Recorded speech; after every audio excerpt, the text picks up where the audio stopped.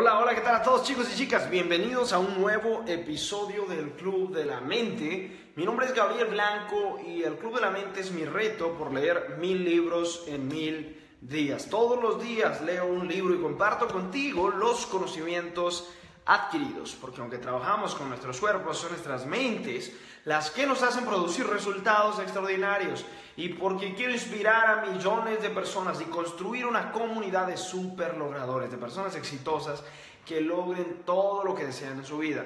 Hoy vamos a hablar de un tema muy interesante, sobre todo para las personas que son empresarios o para las personas que mm, tienen equipos de trabajo y es cómo hacer reuniones de trabajo efectivas. Muchísimas veces cuando hay equipos de trabajo, saludos dos, ¿cómo estás? Un abrazo para ti. Los invito a que compartan la transmisión antes que nada, compartan la transmisión para poder llegar a muchas más personas en el mundo. Ibakai dice que le hable, saludos, ¿cómo estás? Bienvenido al Club de la Mente. Compartan la transmisión y les damos tres videos gratis, tres videos totalmente gratis por compartir la transmisión. Y déjame tus comentarios aquí debajo con tus preguntas al respecto de esta transmisión. Como les decía, muchísimas veces nos vemos en la situación de que para trabajar en equipo requerimos organizarnos, requerimos aprender a comunicarnos, y requerimos hacer juntas y decimos, va a haber una junta a las 8 de la mañana, va a haber una junta a las 3 de la tarde, va a haber una junta a las 4 de la tarde. Y empezamos la junta a las 4 de la tarde y terminamos a las 8 de la noche. Empezamos la junta a las 8 de la mañana y la terminamos a mediodía. Y finalmente perdemos mucho tiempo, todo el tiempo se pelea y no terminamos en nada. ¿Alguna vez te ha pasado eso? Osvaldo, saludos, dice, día de conferencia, un abrazo para ti. Entonces imagínate, muchísimas gracias Efraín, dice, tu información es de alto poder, infinitas gracias para todos ustedes que nos siguen en el Club de la Mente. Te decía entonces, ¿alguna vez te ha pasado esto de que has dicho, bueno, hay junta a las 8 de la mañana y resulta que llegas a las 8 de la mañana, empiezas la junta, empiezan las personas a llegar, a platicar sobre el tema, a debatir sobre el tema, a hacer propuestas, otros no están prestando atención, y sigue la junta y dan las 10 de la mañana y todavía no han definido nada, nadie entiende nada de lo que están diciendo, y sigue la junta y dan las 12 del mediodía y todos están ya molestos, cansados, algunos incluso se han peleado, y dan las 2 de la tarde y todos sin almorzar, no han llegado a ningún acuerdo. Y dicen, bueno, después hacemos otra junta para clarificar los puntos. Y perdiste todo el día de trabajo y no hubo ningún resultado. Eso pasa muchísimas veces en las empresas. ¿Cómo hacer reuniones de trabajo efectivas? ¿Cómo hacer juntas que realmente sean poderosas al momento de generar resultados? ¿A qué me refiero con esto? No perder tiempo y que te pongas en línea con tu equipo de trabajo rápido. Normalmente yo tengo con mis distintos equipos de trabajo juntas semanales. Una vez por semana me reúno 30, 40 minutos con ellos para hablar al respecto de distintos temas. Si es mi equipo de ventas, cómo van las ventas, cómo les puedo apoyar. Si es mi equipo de producción audiovisual, em, cómo están trabajando, qué nuevas ideas hay, qué se viene para el próximo mes, etcétera. Pero siempre la intención es encontrar la manera más productiva de trabajar. Porque si tú no encuentras una manera productiva, te sientas a organizar y pasas 5, 10, 15 horas sin llegar a ningún punto, a ningún acuerdo. ¿Qué se puede hacer? Hoy te voy a dar esas soluciones. Así que déjame tu comentario debajo, juntas exitosas, si quieres aprender a hacer reuniones de trabajo efectivas. Saludos Gaby, saludos Felipe. Los invito a que compartan la transmisión para que lleguemos a muchas, muchas más personas en el mundo. Compartan la transmisión. Veamos entonces cómo hacer reuniones más cortas, tener resultados rápidos y tener incluso mejores relaciones entre todos, entre todas las personas, mejores relaciones sociales entre todas las personas que están en el equipo de trabajo. Reuniones más cortas y resultados más rápidos. Pocos saben cómo hablar con precisión, sin parecer grosero. Muchísimas veces hay gente que dice, es que este tipo habla muy fuerte y realmente estás hablando muy directo. Es que yo hablo claro, dices. Pues hay que aprender a hablar con precisión, decir exactamente lo que quieres decir, que las otras personas te comprendan rápido, pero sin desagradar a nadie verdaderamente. Y las personas corteses, quienes están buscando la manera de comunicarse sin desagradar a los demás, a menudo fracasan en darse a entender. Y nadie los comprende porque estamos tratando de darle una vuelta al asunto, otra vuelta, otra vuelta, otra vuelta. Entonces, ¿cómo nos comunicamos de manera clara y directa, pero siendo cortés a la vez?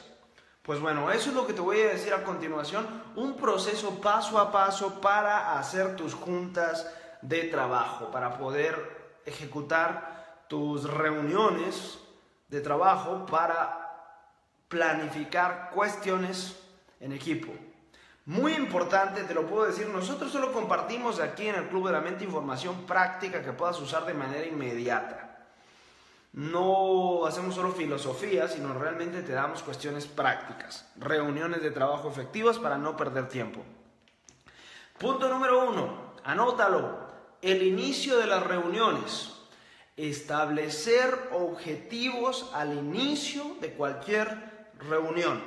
Punto número uno para tener reuniones de trabajo efectivo, déjamelos en los comentarios. Establecer objetivos. Esto es tremendamente fundamental. Si no estableces objetivos, muchísimas veces vamos a hacer una junta de trabajo y el resultado es bien simple y es Nadie, nadie establece, nadie sabe para qué es la junta, qué puntos vamos a tratar en la junta y, todos empiezan a hablar y, y terminan perdiendo muchísimo tiempo. Entonces el secreto es, hay que establecer los objetivos al inicio. En todas las reuniones de trabajo que normalmente tengo, y te lo puedo decir, es algo que he aprendido por experiencia pura, cuando digo vamos a hacer una reunión para planear y empezamos a platicar y a comentar chistes y a hacer bromas y hablar un montón de cosas y pasan 3, 4 horas y todavía no hemos empezado a planear nada. ¿Quieres tener reuniones de trabajo efectiva? Vas a necesitar algo muy, muy importante y es establecer objetivos al inicio. Fundamental. Fundamental. Tener un objetivo claro para cada sesión y anunciarlo al principio de manera directa. Es decir, nos vamos a reunir para planificar algo y decimos Vamos a hablar de estos tres puntos. Vamos a hablar de estos cuatro temas. Estos son los cinco eh, temas urgentes en esta reunión. Paso fundamental. No te ocultes detrás de la pantalla de las cortesías, de decir, ah, no, es que yo no digo cuáles son los puntos exactos porque no quiero que se molesten o que crean que yo soy muy directo o muy agresivo, que solo vengo aquí para trabajar. Claramente solo venimos para trabajar. ¿Sí? Entonces, revelar rápidamente lo que tú deseas, a qué vienes a esta reunión, muestra respeto por el tiempo de los demás. Siempre que hagas una reunión de trabajo, llega con una agenda clara. Yo no hago reuniones si no tengo agenda clara. Para platicar sin objetivos, no. Verdaderamente. Verdaderamente durante las reuniones. Ese es el segundo paso. Después de que llegas y estableces de qué van a hablar en la reunión, el siguiente paso es durante las reuniones. ¿Qué pasa aquí? Muchos líderes no conducen eficientemente las reuniones. La gente se desconecta cuando siente que está malgastando su tiempo. Algunas reuniones pueden no ser necesarias. El contacto por correo electrónico o por teléfono podría funcionar igual o mejor. Entonces fíjate, esto va incluso antes de empezar una reunión. Antes de empezar una reunión, di, ¿verdaderamente es necesario? ¿Verdaderamente es importante hacer esta reunión? Porque si no, escribe un correo electrónico, haz una llamada por teléfono. No convoques a 5, 10, 3 personas, 2 personas siquiera, si no hay necesidad de ello. Antes de planear una reunión, di, ¿de qué vamos a hablar? ¿Es verdaderamente necesario hacer una junta?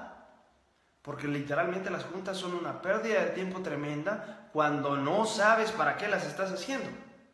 Entonces, antes de eso, di, ¿se puede solucionar este problema por teléfono, por correo electrónico, mediante una carta, mediante una charla, sin necesidad de organizar una junta? Y si la respuesta es sí, no organices junta. No hagas reunión de trabajo, sencillamente solucionalo mediante un método más fácil. Trate de expresar una idea a la vez. Esto es otro punto fundamental. Y luego pregunte a la otra persona qué opina de lo que acabas de decir. En las conversaciones, y lo he visto tremenda cantidad de veces, en las conversaciones, muchas personas hablan y mientras están hablando, la otra persona los interrumpe para decir, sí, puedo agregar esto, sí, además esto, y para hacer comentarios sobre lo que la otra persona está diciendo. Primero, es una falta de respeto. Segundo, la otra persona se pierde. Y tercero, no estás escuchando. No estás escuchando, estás tú dando tu punto de vista. Y se supone que es una conversación y lo que tú estás haciendo es vomitando verborragia intelectual. Y eso no sirve para hacer una junta, eso no sirve para comunicarse.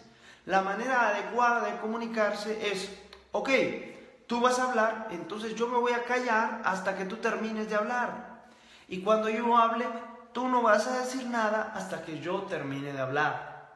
Aprende a comunicarte de esta manera porque vas a aprender mucho más, vas a escuchar mucho más, vas a poder negociar mucho mejor y, lo más importante de todo, vas a comunicarte.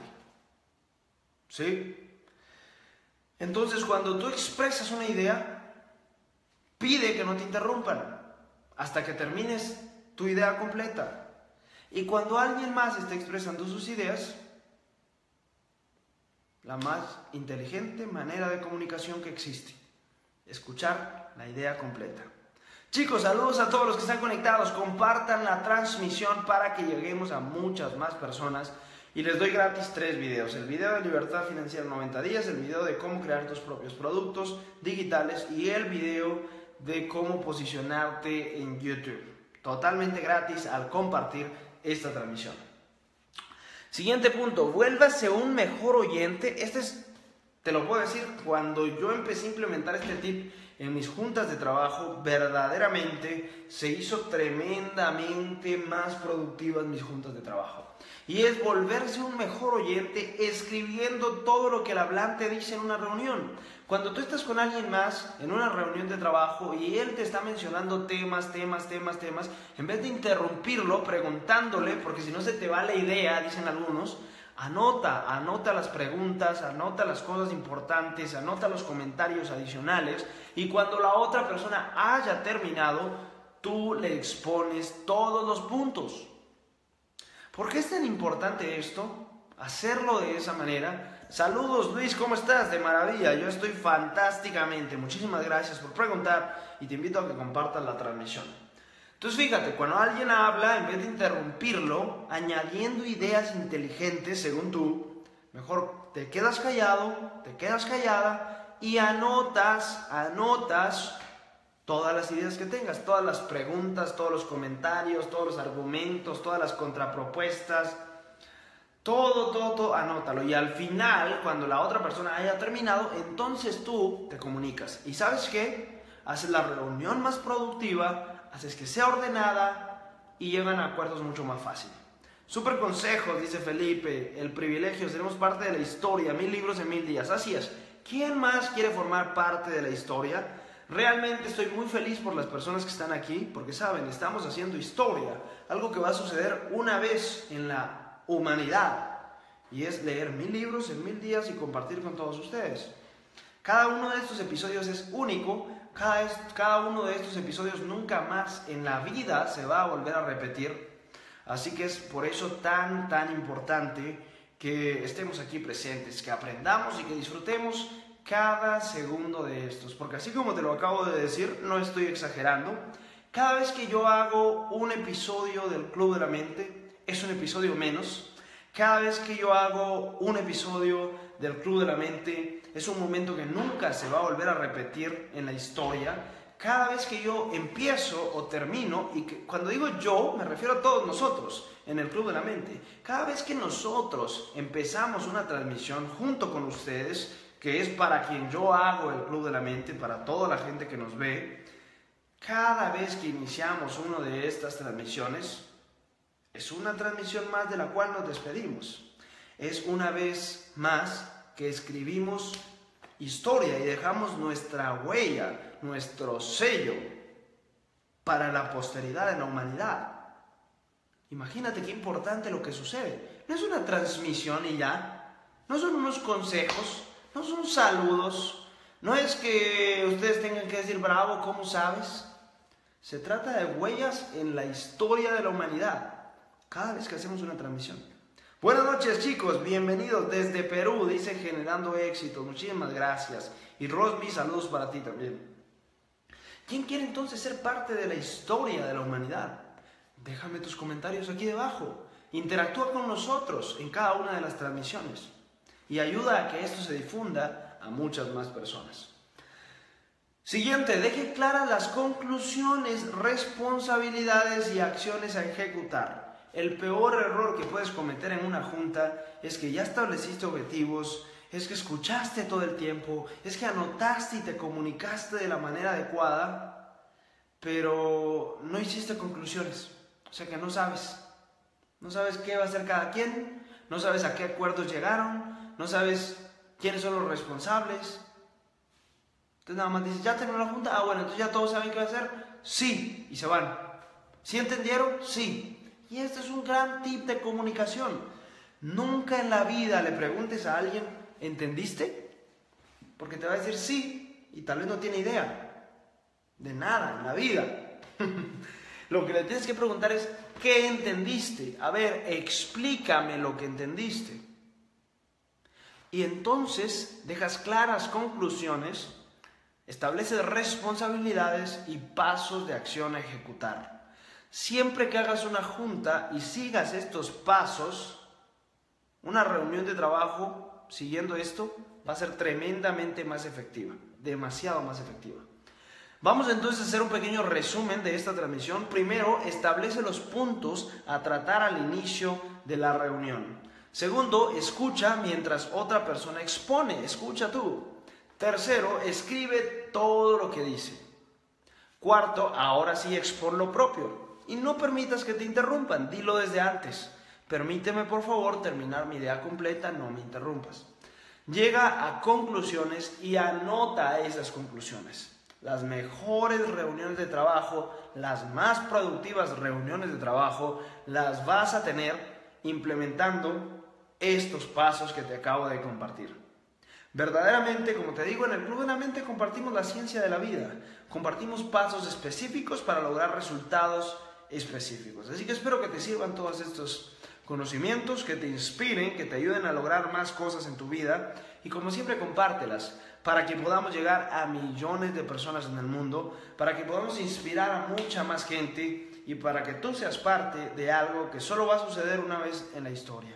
Así como pasan los cometas, así como hacen erupción los volcanes, así como se marca la historia, eso es lo que estamos haciendo nosotros aquí cada noche a las 8 de la noche inspirando al mundo. El Club de la Mente, mi nombre es Gabriel Blanco, suscríbete al canal de YouTube, comparte la transmisión, déjame tus comentarios y nos vemos mañana. Un abrazo para todos.